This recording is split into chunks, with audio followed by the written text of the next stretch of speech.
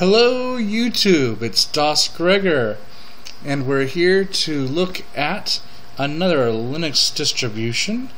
This one is Neptune version 3.3 of ZevenOS. And without further ado, here we go. Let me just close on out VLC here. Neptune 3.3 was a request by one of my subscribers that I take a look at it.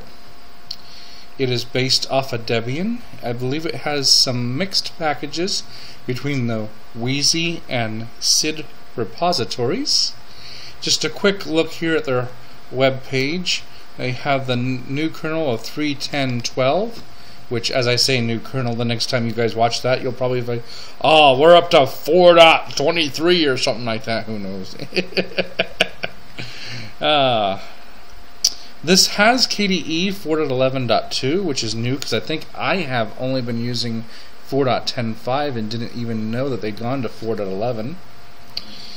And they've done a few little things here, removing some software.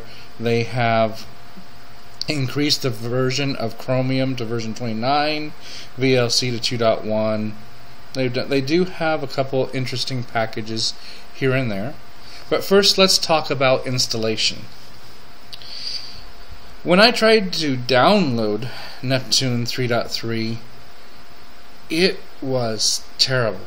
I'm not sure if the servers were having problems or what was going on, but I was lucky to be able to get download speeds between 30k and 50 60k. It probably took 6 or 7 hours to download the 1.8 gig ISO and I'm used to a 1.8 gig ISO taking me no more than 7 to 12 minutes. I did try a couple different things though. As you see here in the upgrade notice, it talks about upgrading Neptune 3.1 or 3.2 to 3.3 by performing normal system updates. I did think maybe I could do that, so by going into the downloads area here, I was able to look at what was available for download, and that's actually not where I was getting Neptune. Let me get back into 3.3 here. Down here in the download area here, there we go. Now, I'm not sure if there was an issue, and maybe this wasn't there before when I was doing this. It just had just had the primary server, and that's what was taking me forever. But I did get it downloaded eventually. In the meantime, I also tried to do the torrent, but it's only at 3.1. Now, when I installed 3.1, I could see some quirks and issues there that are not in 3.3, but after updates and doing the normal update, it pretty much got most everything up to what should have been 3.3. Now, what you're looking at here is 3.3. I eventually did get it downloaded. It took me just a little bit longer than I would have liked, and then I got it running. And it's been working really well. I really like Neptune or ZevenOS's install. It's very simple, very matter of fact. You know, four or five screens, asks you a few simple questions, what partition you want it to go on, etc., and it installs without too much issue. And I like that. You know, you don't have to complicate the installation process. You don't have its choice is nice, but when you're just installing it, it's just good that it works and it's wonderful and it's clear. Another thing that I really like about this particular distribution is it's really refreshing when a distro starts up and you can see that they took some time to customize their wallpaper to give you know those little nuances that make the distro their own, and you don't just look at stock KDE or stock GNOME or stock XFCE. It's kind of nice that they put in that little bit of extra effort instead of hearing the standard little noise that pops up when you first log in. They've kind of customized even their their login sound. And I think that's kind of nice to have that. I think that's a uniqueness that they give to their distro that says that we care a little bit more than just throwing out something that's plain, just everything that you see with everything else. Now, Also, with uh, ZevenOS, they have customized a few applications. So if we switch over to the other desktop here, you know, the first thing I did, of course, was say, hey, where's Synaptics? Where do I go ahead and get my applications from? And I found the Muon Package Manager. And that's always important, I think, that instead of going and grabbing sometimes the packages that you're used to always seeing, look first to see if they have created something that's special to their distro. Now, the Muon Package Manager is very easy to use. wasn't that difficult to find things inside here. It's it's very much mirrored after Synaptics and works really well. Another thing that I noticed that stands out Neptune from the rest is that they have their own little hardware manager. Now, it was interesting because I'm always wanting to see what people do, and I have, of course, a NVIDIA graphics card here.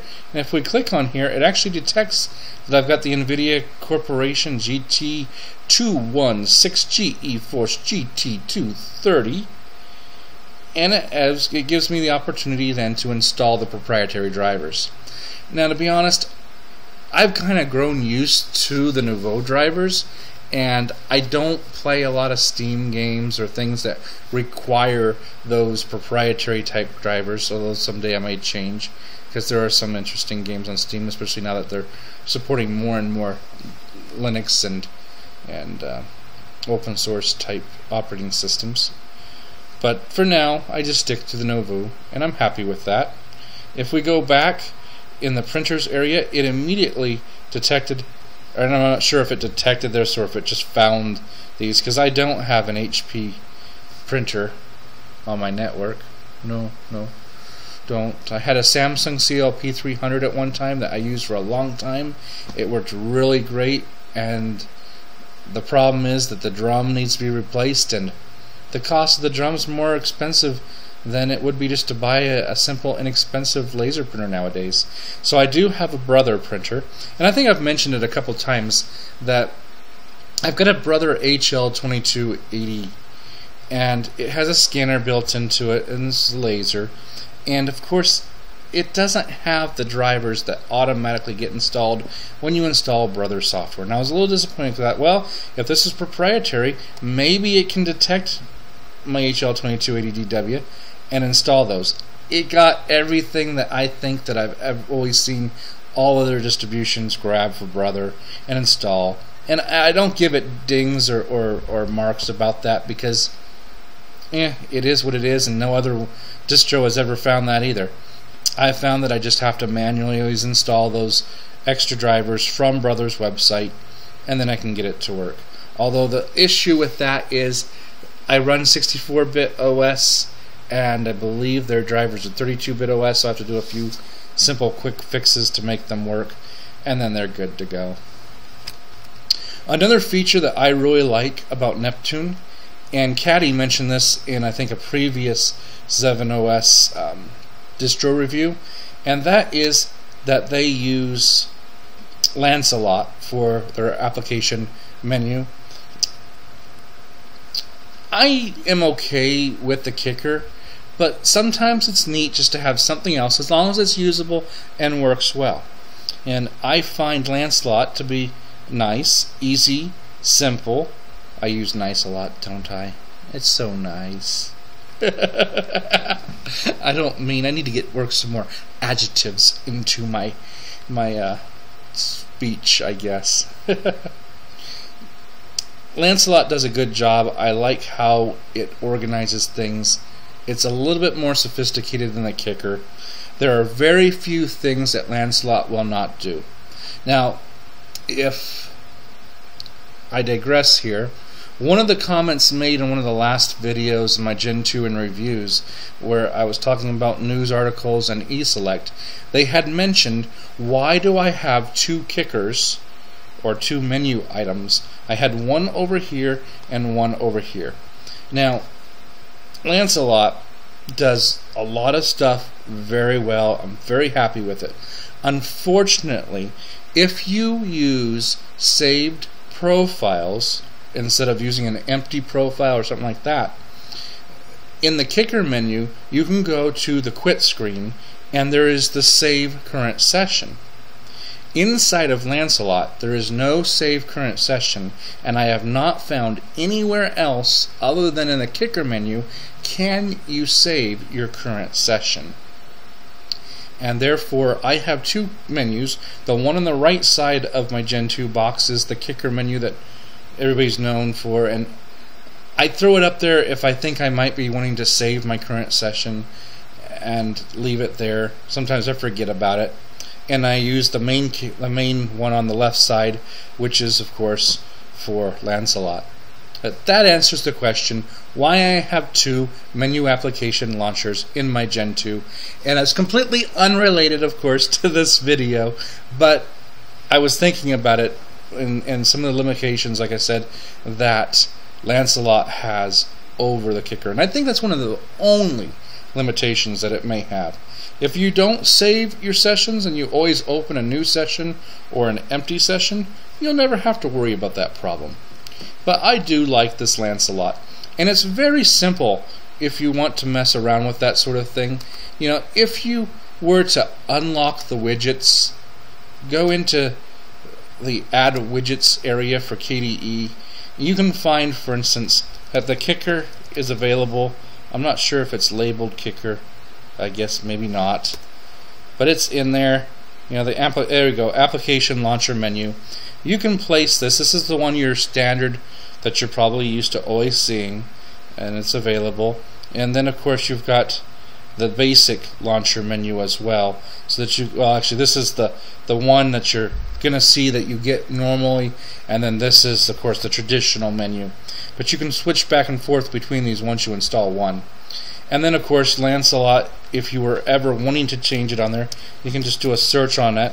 And here's the Lancelot launcher, which is what you are seeing here. It's a nice launcher. It has some neat features, a little bit more cleaner, uh, or a little bit more clean than, say, the Kicker. Sometimes it's not so much that I like things to just to be different for the sake of being different. They have to function as well. And I think Lancelot does a good job. And I'm glad that Neptune brings Lancelot to the table here and gives you a few choices. Now, as to some of the other stuff here, very simple. They are running a, a newer version of LibreOffice. They're running a late, the latest version, of course, like I mentioned, of VLC, and KDE is phenomenal with their newest version, 4.11.2. So they have brought in some things, like I said, from SID that are still technically in testing but are stable enough to throw forth. And like I said too, when I first threw on 3.1 because I could grab it as a torrent and download it much faster and throw it on there, just try it out. I could see some of the bugs that they talked about that they fixed in 3.3. And it was kind of nice just to go ahead and grab 3.3 because it had some of the settings already configured. Because, like it said in their main page, if we go back here, yeah, and back one here, it talks about how in the upgrade that you have to enable certain repositories to go ahead and get the newest version of the KDE Plasma workspace and also the newest version of LibreOffice. That's not too hard to do, but sometimes I want to make sure if I'm going to do a review that I'm not doing something like throwing something old, updating it to what should be, unless it's a rolling release that's constantly doing that, and, and then it's okay. But in this particular case, I just wanted to make sure this is what you should see if you get the 3.3. Now, other than that, everything else about it is quite simple. We were looking at those menus here. Um, like I said, Office was giving you the latest version there. They do have your typical KDE stuff for utilities. Same thing for settings, and of course Qt4 I had to install so I could use my simple screen recorder. Simple screen recorder GIMP came with it automatically. Chromium, of course, was version 29 VLC. In the multimedia area, it came with a couple games, card games, um, KPatience, and other card games, for instance. And I am not too sure what Hedgewars are. I haven't really looked at that, but it came with that as well. Maybe I will before I go on to my next review, just to take a quick gander at that. Well, thank you very much for watching this particular review. I will be looking at my next Gentoo in review for next Wednesday, and I do have a list of requests, and it's getting kind of long. So I do apologize to everybody. I've got at least four or five more requests for different uh, distribution reviews, and I don't have that handy just yet because it's in my Gentoo partition, and of course we're in my guest OS. So I will be getting to everybody. I will be getting to those. You know, if you're fourth on the list, for instance, that's going to take four weeks till I get to you, because I'm only going to do one of these a week, and and I, I I still am on track for 52 and 52 weeks, so that's going well. But I just want you to know that if you don't see your distribution right away, and if you're wondering, feel free to give me a, a, drop a line or something like that so I can can tell you well you're third on the list or you're coming up. I do try as I get to your reviews or your requests to give you another you know send out that hey it's coming up it's next week I'm be looking at this coming forward and, and or going forward that sort of thing. So just to let you know. I want to make sure that anybody who wants me to look at a specific distribution that uh, I will do it no matter whether it's my cup of tea or not. We'll look at it. I will try to give it a good, honest opinion. You know, most of my reviews, sometimes I spatter on about things that aren't even about the distribution because just things that they remind me of or or, or something that, that works well with the distribution. You know, sometimes it's more about just the chat and the, the rambling than it is the distro. But uh, I do appreciate all the comments and reviews and everything that you all have to say about uh, these things. You guys have been great. I've really appreciated all of the subscribing that's been going on.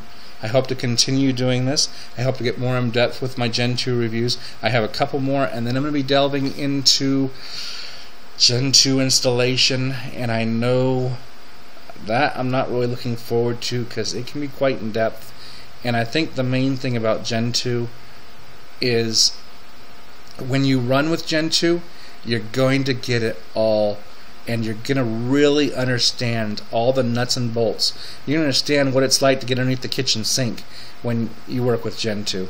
And I really want to do a fair, a fair challenge here and go with each chapter, discuss it, and then eventually do the whole okay, skip my blah blah blah blah blah and just go right into let's install it, let's do this, and you can have an idea of how to get Gentoo installed. Although I will tell you, there are some other Gentoo websites and YouTube videos out there about how to get Gentoo installed. It's just, it's one thing just to follow what someone's doing, it's another thing to understand what they're doing and why they're doing it. So I hope that the method I decide to go with this works well for you guys, and I hope I can get to it here hopefully in, in November or so. Again, thanks a lot for watching. Thanks for your comments. If it's morning, evening, noon, or night, whatever you're having, enjoy it. Thank you again. We'll chat with you all later. Have a good whatever it is. Bye.